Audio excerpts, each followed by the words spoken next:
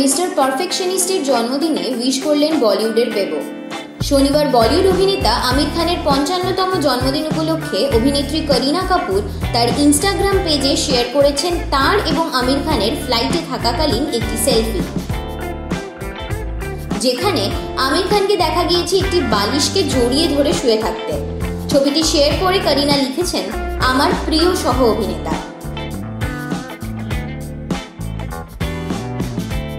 করিনা এবং আমির এই মুহূর্তে তাদের আসন্ন ছবি লাল সিং চাড্ডায়ের শুটিং এর জন্য পাঞ্জাবে রয়েছেন। এই বছর ভ্যালেন্টাইন্স ডেতে আমির খান এই ছবিতে করিনার লুকের একটি ছবি শেয়ার করেছিলেন। এই বছর ক্রিসমাসে মুক্তি পেতে চলেছে তাদের এই সিনেমা।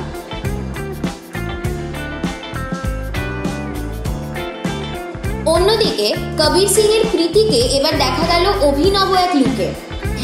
ঠিকই ধরেছেন, কথা বলছি কিয়ারা আদবানি। সম্প্রতি তাকে দেখা গিয়েছে নেটফ্লিক্সের একটি ওয়েব সিরিজ, গিলটি এর শুটিংয়ে অভিনব এক লুকে। যেখানে দেখা গেছে, রবীন্দ্রনাথের একলা চলরে গানটি তার ক্লিভেজে ট্যাটু করা রয়েছে। ইতিমধ্যেই এই ছবি ঝড় তুলেছে সমগ্র সোশ্যাল মিডিয়াতে। সম্প্রতি রবীন্দ্র ভারতীর ক্যাম্পাসের ঘটনার সূত্র ধরে অনেকেই বলেছেন এই ঘটনার বিরুদ্ধেও প্রতিবাদ হওয়া দরকার। তবে এই লুক ওয়েব সিরিজে ঠিক কী কারণে ব্যবহার করা হয়েছে তা এখনও পরিষ্কার নয়। এবং এই নিয়ে মুখ খোলেননি কিয়ারা।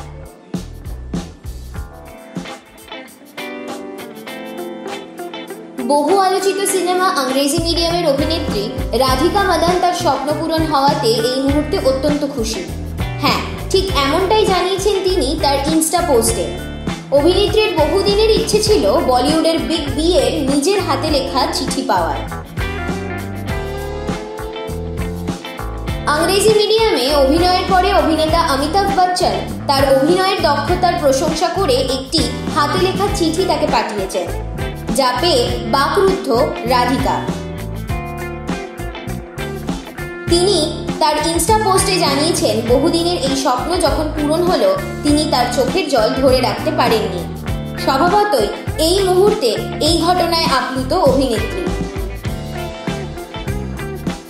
ইংরেজি মিডিয়াম সিনেমাতে রাধিকাকে দেখা গিয়েছে ইরফান খানের মেয়ের ভূমিকায়।